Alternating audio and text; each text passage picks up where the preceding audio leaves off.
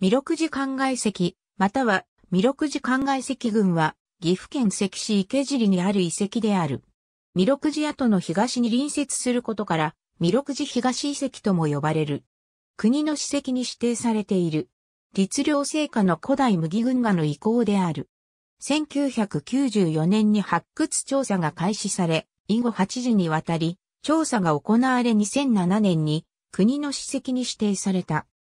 文献に言及されている群河の施設、クリアイエなどが、すべて把握可能な全国的に類例のない遺跡であり、隣接する古代寺院弥勒寺が建立された7世紀、後半から群河が存在した奈良時代初頭から平安時代中期、さらに中世の遺構が重なる複合遺跡でもある。この一帯には、弥勒寺跡、弥勒寺西遺跡があり弥勒寺灌漑石群として発掘調査が継続されている。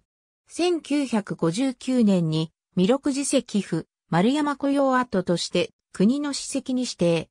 2007年に周辺の遺跡を追加指定して指定名称を弥勒寺灌漑石群と改めた。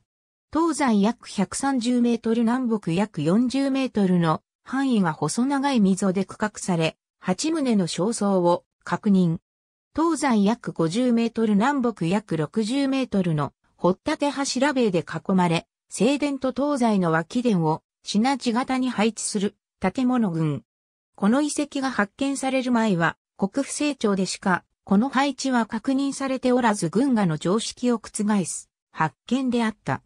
円面すずりなど出土した遺物の一部は石市円空間の常設コーナーにて展示されている。ありがとうございます。